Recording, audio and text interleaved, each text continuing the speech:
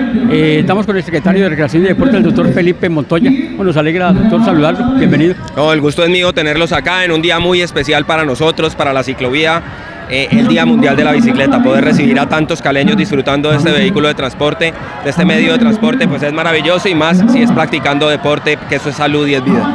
Sigue el cariño de la gente, ¿no? Eh, siempre más y más personas en las ciclovías cada ocho días. Este es un activo de la ciudad, 41 años, yo creo que cualquier ciudad de Colombia y del mundo envidia esta ciclovía, una ciclovía con un tramo central ocho ciclovías comunitarias, más de 75 mil personas que la aprovechan domingo a domingo, en un clima hoy maravilloso, un sol radiante, pero disfrutándola felices, familias, mascotas, todos aquí hacer deporte, hacer actividad física y a disfrutar en familia. No solamente ciclovías, sino que esta Cali sigue siendo bien deportiva, secretario.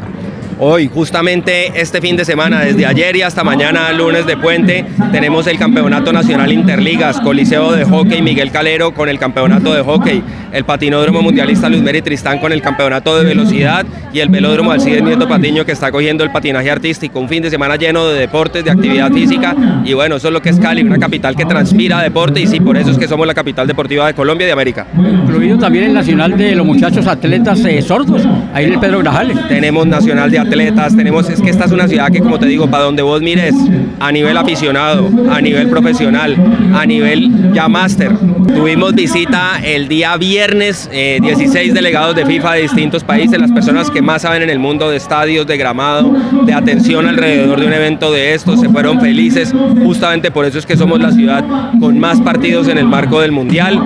Estamos listos, estamos ya terminando el tema de la, de la grama, haciendo las adecuaciones, esperando ya que llegue la maquinaria para poder hacer el tejido de la secretaría, para que quede el gramado híbrido y para atender, demostrarle al mundo que tenemos la mejor afición. ¿Cuándo se les entrega el estadio a ellos, eh, secretario?